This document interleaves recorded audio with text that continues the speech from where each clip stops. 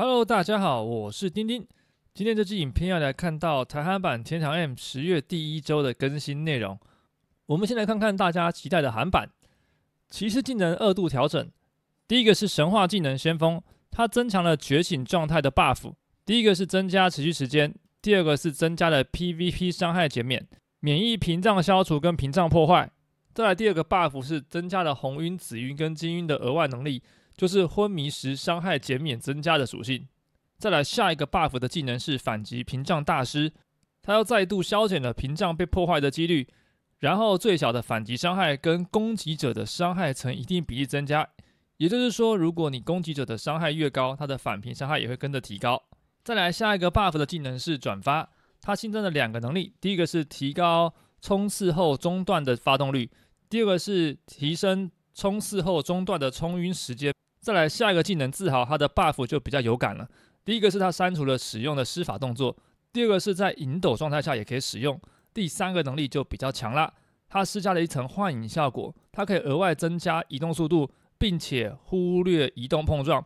也就是说，它可能会类似死神的鬼步一样，它的能力又会比鬼步更可怕，因为它的 CD 时间只有几秒，然后它可以一直冲刺，一直穿人。最后个是白记的开怪技能投掷。在杀死敌人的时候，可以重置冷却时间，可以在范围内使用武器。被投掷的目标 debuff 的时间会增加，然后也会加强你对那个目标的额外伤害。然后其他的修改部分有第一个傲慢技能的增强，再来第二个修正是技能的冲突，拆除和投掷的技能，它无法在射程外使用投掷的问题已经修复了。第三个就是在某些情况下，我们直播上看到的拆除的动作会很不自然，而且会卡卡的这个问题，他说已经解决了。那我们就等。更新之后一起开上来给大家测试一下。好，以上就是韩版这一周的技能更新重点。再来，我们看一下台版这一周的重点有什么？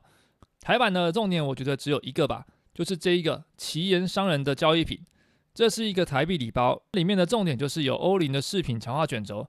这个卷轴其实是大家敲碗已久的。那在这一次骑士改版更新之后，又新增了许多加五的饰品收集品。所以这个卷轴就变得相当的重要。如果你有需要的，记得把这个礼包买好买满。然后台版的 TJ 资讯也在今天晚上发布了。我们的改版时间没意外的话会在十月九号，那我们就敬请期待一下吧。我是丁丁，这支影片就到这边，我们下支影片再会，大家拜拜。